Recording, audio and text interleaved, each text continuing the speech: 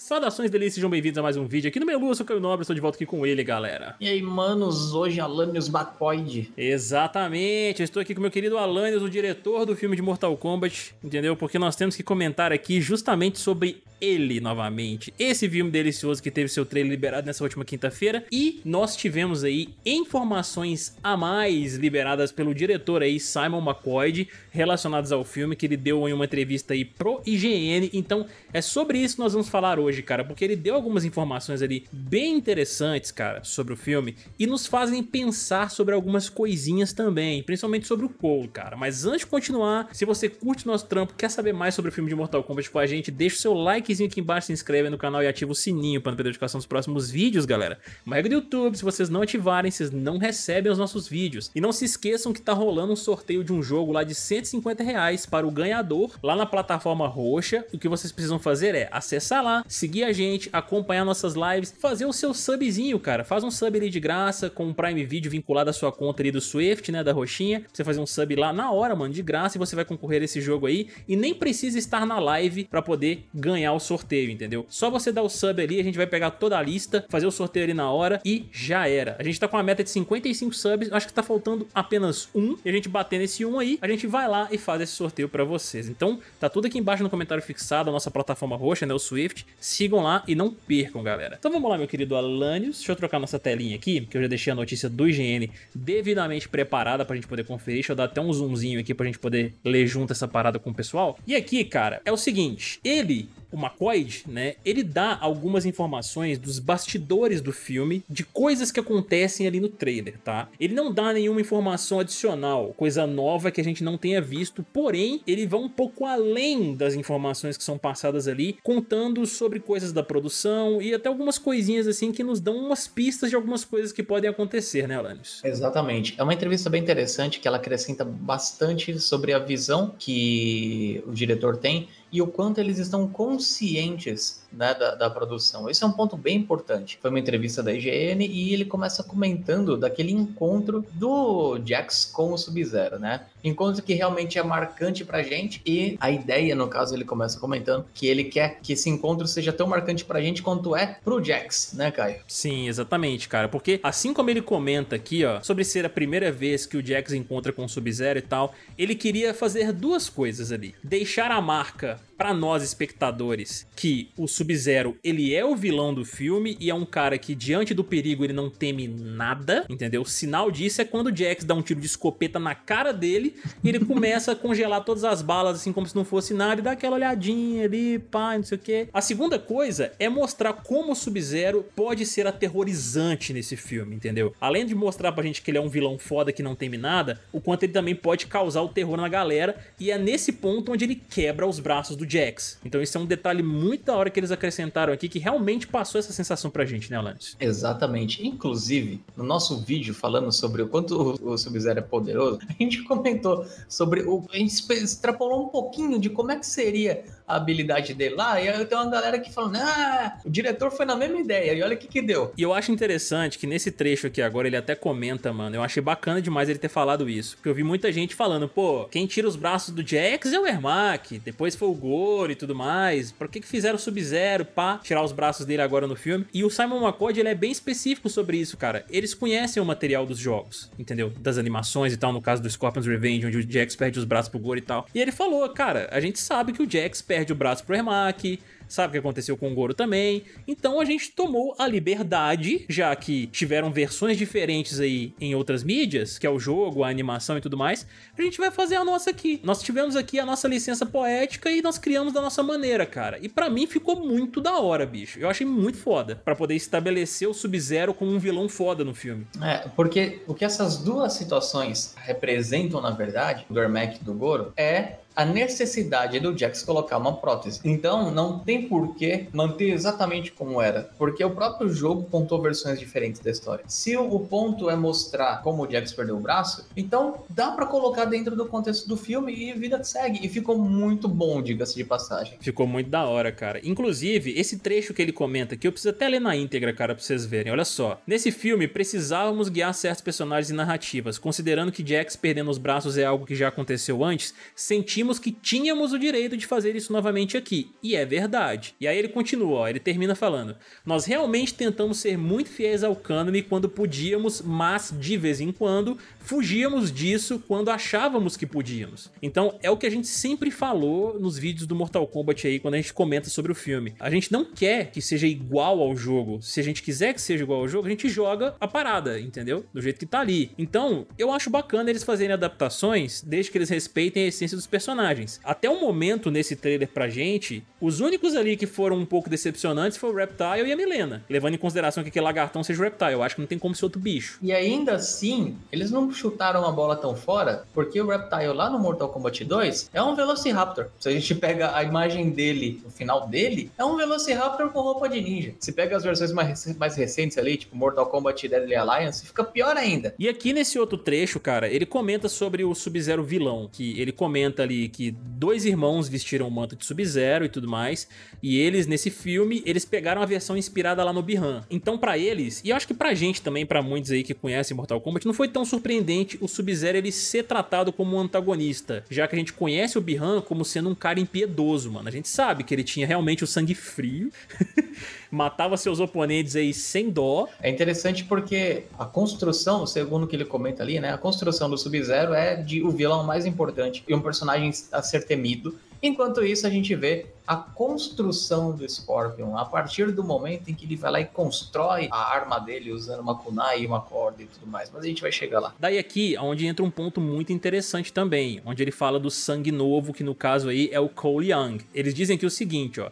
Embora o Mortal Kombat inclua muitas faces familiares e semelhanças com a história dos jogos, a adaptação terá algumas surpresas, que apresentará o personagem original chamado Cole Young, que tem uma misteriosa marca do dragão no peito. Daí, o nosso querido Simon McCoy diz o seguinte, ó. Sentimos que não existiria problema em trazer um personagem novo, considerando que Mortal Kombat o fez muitas vezes o que é verdade. E ele está certo. O que começou com um elenco de 7 personagens se tornou uma, uma série com quase 100, sendo que novas faces surgem a cada jogo. Aí eu sei que muitos podem acabar falando aí, mas pô, eles colocam novos personagens sim, ok, mas nenhum deles é protagonista. Sim, mas é uma mídia totalmente diferente, né, cara? A gente tá lidando com um filme. Você vai ter uma parada igual aconteceu no filme do Street Fighter lá, que tem aquele general Salwada, acho que é alguma coisa assim. Tá lá, tá lá, não acrescenta em nada, não muda em nada, não influencia em nada. Ele estando e ele não estando é a mesma coisa. Eles não quiseram fazer isso com o Cole, principalmente porque eles chamaram o Lewis Stan, que é um puta de um ator de, de filme de ação, e aí não, não é legal perder um talento desse, né? Mesmo porque ele pode ser protagonista do filme, mas não significa que ele vai carregar o Mortal Kombat nas costas. Exatamente, cara. Daí ele comentando um pouco mais aqui sobre o Cole Young, né? Ele se refere à marca de dragão no peito dele,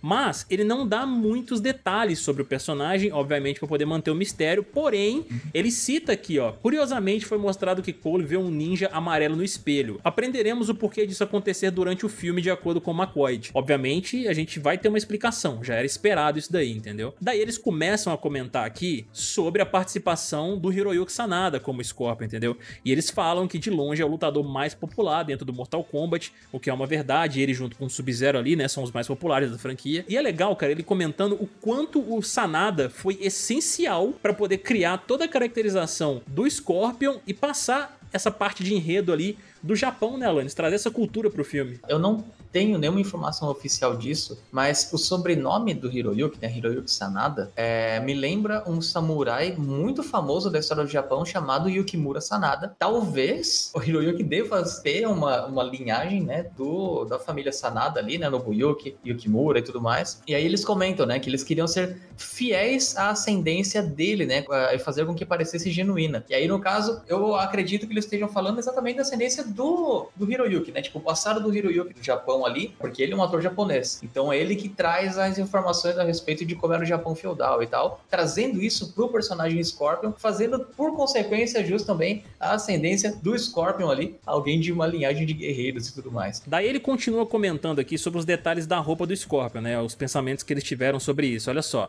As roupas precisavam de muitos detalhes, de muita textura e camadas para que fizessem sentido e não fossem simplesmente uniformes. O uniforme do Scorpion precisava ser uma armadura que trouxesse certa dignidade e elegância que combinassem com o personagem desde o início, cara. E eu acho que eles foram muito bem sucedidos nisso aí, mano. Acertaram em cheio, cara. Não ficou aquele amarelo berrante, ficou um amarelo que condiz com a coloração de uma armadura, né? Aquela parada meio gasta ali ainda. E aqui, cara, começa um ponto interessante que entra numa parada do filme que eu acho que muitas pessoas têm um pouco de dúvida, mas algumas estão cientes de que isso vai ser um dos grandes focos, que é a rivalidade de fogo e gelo, ou seja, de Scorpion e Sub-Zero. Aí eles comentam aqui o seguinte, ó. A rivalidade entre Scorpion e Sub-Zero está entre as mais duradouras na história da indústria, além de ser um elemento chave, chave do novo filme. O longa começa mostrando como esse conflito começou, com Hanzo Hasashi defendendo o vilarejo do Shirai Ryu de um ataque do clã de Sub-Zero, os Linkway. Aí o McCoy comenta, que é um trecho citando uma fala dele, ó. É sobre ver a evolução de Scorpion na tela e os ingredientes, tanto emocionais quanto físicos, de como ele se tornou Scorpion.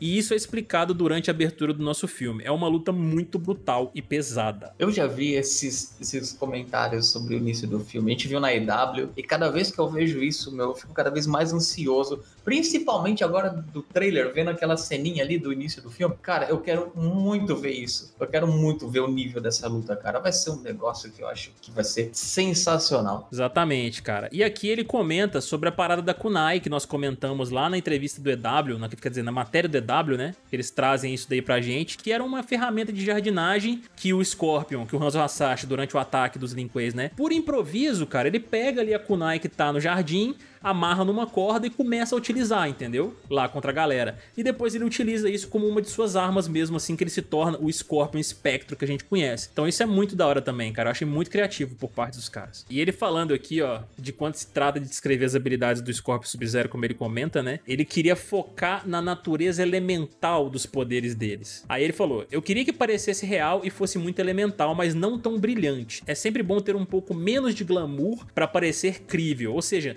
não é aquela aquela coisa toda bonita, maravilhosa e tal, pra poder saltar os olhos na tela. É incrível, é foda, mas é aquele negócio rústico, entendeu? A gente vê uhum. uh, como aquele poder pode ser destrutivo para quem tá em volta destes personagens. Eu achei isso muito da hora também. É, é, é uma coisa muito legal, uh, mesmo porque lutas reais, né? Se a gente pega, principalmente lutas de, de espada, que são muito floreadas em filme, elas não aconteciam da, daquela forma. Você florear muito em uma luta, você tira a credibilidade dela. O trailer mesmo mostrou que eles quiseram deixar, misturar a, a questão de fantasia com realidade ali, trazendo a maior coerência possível dentro daquele universo, né? Isso aqui, cara, esse próximo trecho eu acho muito da hora. Quando eu li, eu fiquei até arrepiado, mano. Que ele comenta sobre as participações de Joe Taslim, que é o Sub-Zero, e Hiroyuki Sanada como Scorpion, porque ele aqui nesse trecho elogia os dois como grandes artistas marciais que eles são. O Joe Taslim, que é um cara extremamente atlético, habilidoso, entendeu? Ele fala até ali, ó, que ele representou o judô da Indonésia e tudo mais. Ele também é perito em outras artes marciais. E ele enfatiza o Sanada ser um espadachim muito talentoso talentoso e também um artista marcial já bastante experiente. A gente sabe que ele é, né? De vários é. filmes que ele já fez.